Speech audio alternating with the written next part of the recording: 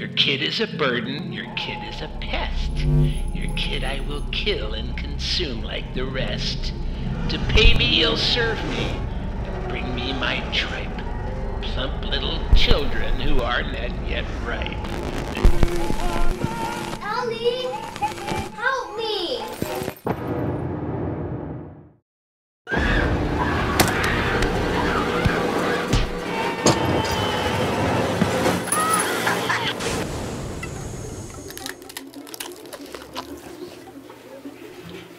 From your fertile womb, daughter, two I will pluck. One I will eat. The other I'll